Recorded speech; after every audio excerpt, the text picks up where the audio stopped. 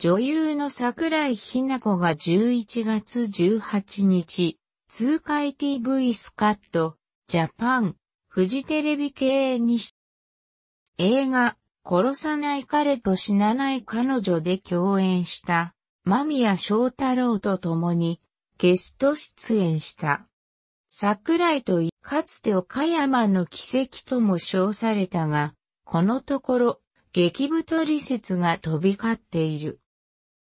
この日も何か変わった昔と顔が違いすぎるなどと指摘する声が相次いだ。再現 VTR の間に挟むエピソードトークの